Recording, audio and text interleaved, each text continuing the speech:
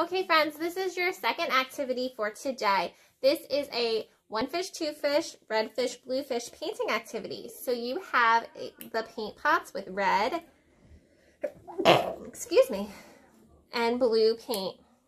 Entonces esta es la segunda actividad para hoy. Um, van a hacer así como el pez, uh, un pez, dos pez, pez rojo, pez azul. So in your bag, you have Q-tips to use with the paint.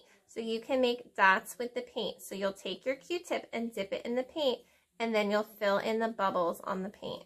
Entonces lo que van a hacer es que con el sopo que tienen en su bolsita van a ponerlo en la pintura y van a pintar los círculos que están ahí. So you can just go ahead and you can paint all the little dots, okay? And you have two Q-tips, so you can do one red and one blue, okay? So you don't have to mix. Entonces van a pintar así como un pez va a ser el color azul y después el otro pez con el otro sopo van a pintarlo del color rojo. So that is your one fish, two fish, red fish, blue fish painting activity.